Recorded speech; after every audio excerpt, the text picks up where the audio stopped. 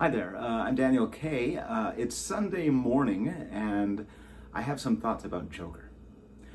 Uh, Joker, uh, as of right now, is predicted to take the weekend with about $93 million, which breaks October records. Um, of course, October records aren't exactly Mount Everest, but it's still really interesting that this is happening because, well, okay, so Joker there was a little advanced publicity on it, but uh, the advanced publicity on it was all bad. Uh, there were two things basically people knew about this movie going in. One is that it probably wasn't a very good movie. Um, Warner Brothers had uh, withdrawn press screenings, for example, which everybody knows is a bad sign. And the rumble was, eh, it's no fun.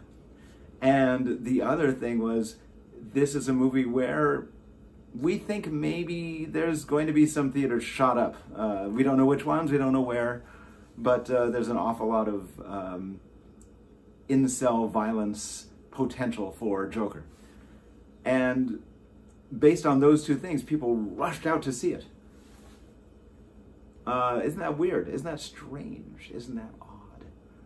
Um, so I, I, guess it says something about the American character in addition to saying something about the Warner Brothers publicity department.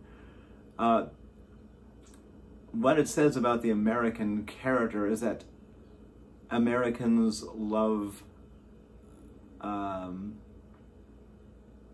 an outsider. They love a um, an anti-hero. And Warner Brothers, by the way, is uh, the studio that's famous for making money off of anti-heroes going all the way back to gangster movies in the 30s.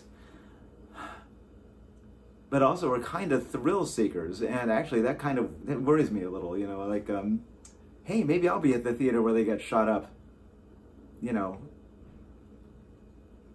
I don't know what to say about that. I, it, but like I say, um, I should also say, by the way, that I um, haven't seen Joker, and I think maybe I'll wait for it to come on video and then not see it there. Uh, because, you know, it looks like someone's going to shoot up a theater and it's no fun.